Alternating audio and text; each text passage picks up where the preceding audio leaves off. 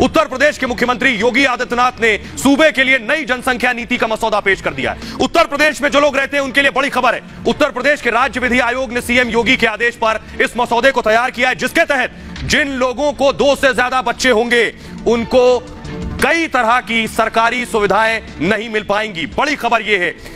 साथ ही किसी तरह की सब्सिडी भी नहीं मिलेगी अगर दो से ज़्यादा बच्चे होंगे। और ऐसे लोग स्थानीय चुनाव भी नहीं लड़ पाएँगे।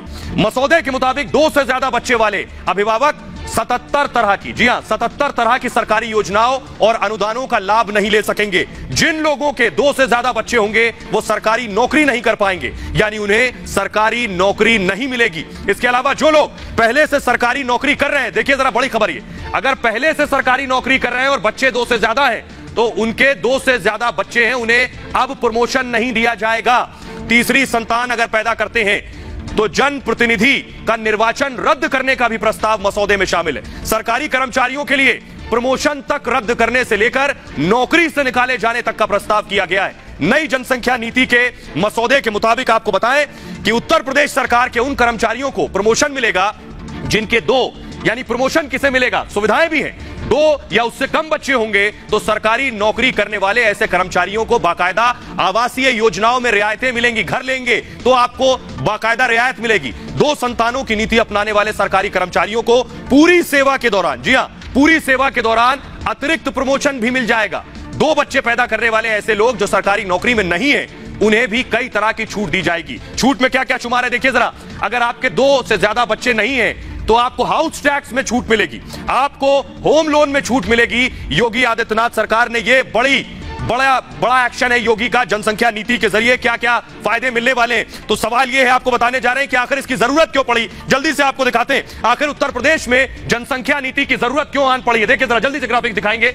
नई नीति की बजाय उत्तर प्रदेश में जनसंख्या दरअसल लगातार बहुत तेज़ी से बढ़ रही थी। इसको काबू पाने के लिए यह कोशिश की गई। 2011 में 20 करोड़ आबादी थी। 2011 में। 2021 में 24 करोड़ हो गई, यानी 4 करोड़ बढ़ गई है। ज़रूरी सुविधाओं पर दबाव बढ़ गया था लगातार उत्तर प्रदेश में। कई तरह के संकट खड़े हो गए थे यूपी के सामने। पानी की किल्लत शुरू हो गई थी उत्तर प्रदेश का। हाल जानते हैं, बिजली की खपत बढ़ गई थी कि आखिर बिजली कटौती यूपी में हो रही। रोज़गार की समस्या पैदा हो गई थी कि यूपी में इंप्लॉयमेंट नहीं है। गरीबी बढ़ गई थी यूपी में। इस जनसंख्या वृद्धि की वजह से शिक्षा में गिरावट आ रही थी लगातार। प्रदूषण बढ़ गया था यूपी में। तो यह वजह रही, दरअसल ज़रूरत थी कि जनसंख्या नीति को लेकर आया जाए। और बड़ी वजह मैं आपको बताऊँ कि यूपी ने कई बड़े बड़े देशों को पीछे छोड़ दिया है। वो मैं आपको दिखाने जा रहा हूँ। देखिए तरह इससे पहले भी मैंने आपको दिखाया, लेकिन एक बार फिर से नज़र डालिए जरा, यूपी ने कैसे दुनिया के अलग अलग मुल्क को जनसंख्या में पिछाड़ दिया देखिए जरा ग्राफिक्स आपके सामने, उत्तर प्रदेश की आबादी कई देशों की आबादी के बराबर है। बेशक बराबर नहीं, मैं कहूँगा ज़्यादा है।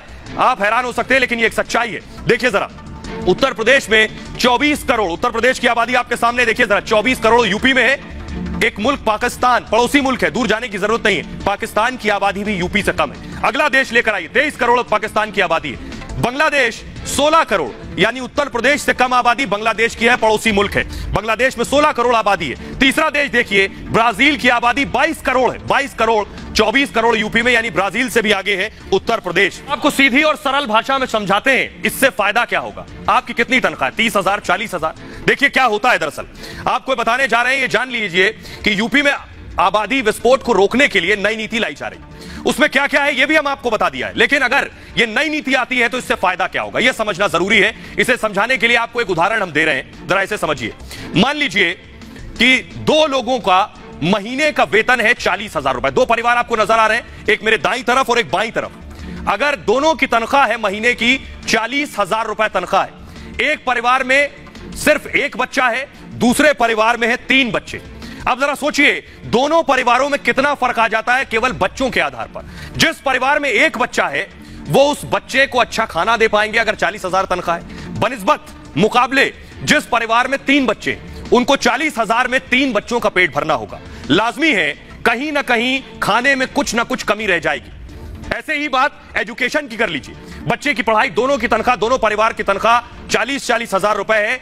एक के एक बच्चा है, एक के तीन बच्चे ऐसे ही शिक्षा जिसके एक बच्चा है, उसे एक ही बच्चे की फ़ीस देनी है। वो अच्छे स्कूल में दाखिला कराएगा, लेकिन जिसके तीन बच्चे हैं, वो उसी चालीस हज़ार में तीन बच्चों को पढ़ाएगा। दाखिला कराने से पहले स्कूल की फ़ीस और अपनी जेब दोनों देखेगा। नतीजा क्या होगा? औसत स्कूल में दाखिला कराना मजबूरी हो जाएगा। यानी आप बच्चे की सेहत से भी खिलवाड़ करेंगे और बच्चे की शिक्षा से भी खिलवाड़ करेंगे। अगली वजह देखिए, बच्चों का स्वास्थ्य बेहद अहम है। अब जिस परिवार के एक बच्चा है, वो अपने उस एक बच्चे के स्वास्थ्य का ध्यान बेहतर तरीके से रख पाएगा, जिसकी चालीस हज़ार तनख्वाह होगी और एक बच्चे की परवरिश करनी जिसके दो से ज़्यादा बच्चे होंगे, वो उस तरह से ध्यान नहीं रख पाएगा।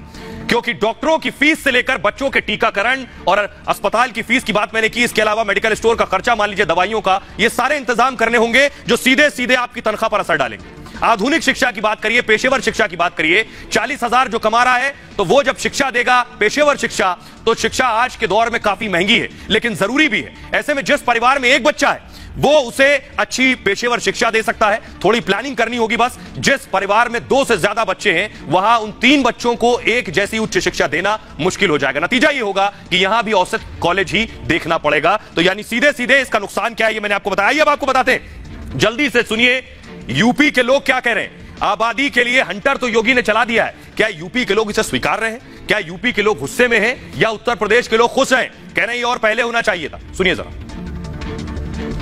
जनसंख्या कम होना चाहिए। जी बेहतर चाहिए। बेहतर फैसला है। सरकार को हम लोग कोटि कोटि धन्यवाद देते हैं। हम और हमारा सिर्फ़ एक बच्चा है और हम लोग इसी पॉलिसी के तहत अपनी लाइफ जी रहे हैं। और हम चाहेंगे कि देश में और सख्ती से ये कानून लागू हो। मेरे हिसाब से इसको बहुत पहले ही आ जाना चाहिए था और ये आ रहा है तो बहुत सही कानून है। बहुत अच्छी बात है ये जो गवर्नमेंट ने अब निकाला है ये जो कानून लाने जा रही है जनसंख्या नियंत्रण के ऊपर ये बहुत ही अच्छा है दो बच्चे होंगे। हर आदमी को एम्प्लॉयमेंट मिलेगा हर आदमी अच्छे से रहेगा और इससे अच्छी कोई बात नहीं हो सकती। फैमिली को अच्छे से पालने पोसने में आसानी रहेगी बच्चों की पढ़ाई लिखाई हर चीज़ अच्छा से अच्छे से हो जाएगा। तो बच्चे सही रहते हैं और क्या इसमें लाइन नहीं लगना पड़ती है जैसे कंट्रोल में लाइन लगी है अस्पतालों में लाइन लगी है इससे सीमित रहेगा हिसाब किताब उसका बना रहेगा? कि आज की डेट में जो भी दिक्कत आ रही है वो सारी पॉपुलेशन की वजह से आ रही है। अगर करप्शन भी है कहीं तो वो पॉपुलेशन की वजह से है। तो पॉपुलेशन कंट्रोल हो जाएगी तो काफ़ी चीज़ें कंट्रोल हो जाएँगी। जो फैसिलिटीज़ मिनिमम फैसिलिटी है वो लोगों को नहीं मिल पाती। गवर्नमेंट भी चाहे तो भी नहीं कर सकती क्योंकि इतना ज़्यादा पॉपुलेशन है। तो अगर हम इसको मिनिमाइज करेंगे तो अभी तो नहीं उसका हमको जो रिज़ल्ट है वो आगे दस साल पंद्रह साल में दिखेगा। हमारा कॉन्स्टिट्यूशन प्रोवाइड करता है वी आर सेकुलर कंट्री यहाँ किसी विशेष जाति धर्म से देख के इसको नहीं देखना चाहिए। ये नेशनल इंटरेस्ट में बहुत ज़रूरी है कि पॉपुलेशन कंट्रोल चाहे हिंदू हो, चाहे मुस्लिम, कोई कम्युनिटी हो। That should be for all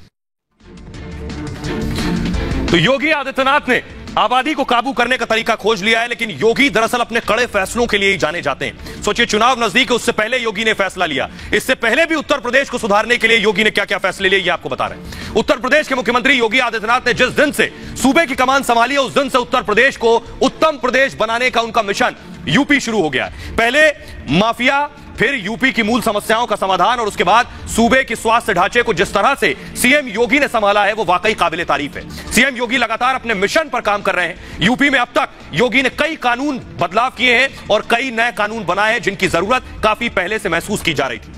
CM योगी के कार्यकाल में अब तक कौन कौन से बड़े फैसले योगी ने लिए, ये मैं आपको बताने चाह रहा हूँ। पहला बड़ा फैसला योगी का था लव जिहाद कानून। लव जिहाद पर लगाम लगाने के लिए योगी आदित्यनाथ कानून लाए। इसके अलावा गोवध अधिनियम योगी आदित्यनाथ लेकर आए। इसके बाद अवैध पूचड़ खानों पर रोक लगाई और साथ ही साथ हिंसक भीड़ रोकने का कानून लाए, तोड़फोड़ की भरपाई पर कानून लाए कि अगर तोड़फोड़ करेंगे तो भरपाई भी आपकी जेब से होगी। विवाह पंजीकरण पर भी योगी आदित्यनाथ कानून लेकर आए लेकिन अब सवाल यह है कि क्या सिर्फ़ यूपी में यह कानून की ज़रूरत है? क्योंकि पूरे देश की आबादी तेज रफ्तार से, बुलेट ट्रेन की रफ्तार से बढ़ रही है। जैसा मैंने पहले आपको बताया कि चीन को भी हम पीछे छोड़ देंगे। तो क्या इसी तरह का कानून पूरे देश में लाने की ज़रूरत है? यह मैं इसलिए कह रहा हूँ, जरा देखिए, पूरी दुनिया के मुकाबले हम कहाँ खड़े हैं? उत्तर प्रदेश मैंने आपको बता दिया, उत्तर प्रदेश वो राज्य जो बड़े बड़े मुल्कों से आबादी में आगे लेकिन भारत भी पूरी दुनिया के अलग अलग देशों से आबादी में कहीं आगे। देखिए जरा, मैं आपको दिखाने जा रहा हूँ। हिंदुस्तान कहाँ खड़ा है आबादी के मामले में? योगी वाला कानून पूरे देश में चाहिए। एक करोड़ आबादी भारत की है। अमेरिका देखिए, तैतीस करोड़। कहीं मुकाबला ही नहीं है। एक करोड़ और तैतीस करोड़ दूर दूर तक कोई कंपैरिजन नहीं। दूसरा देश देखिए जरा। रूस, चौदह करोड़। और आबादी हमारी एक करोड़। कोई मुकाबला नहीं है। रूस हमसे पाँच गुना ज़्यादा बड़ा है।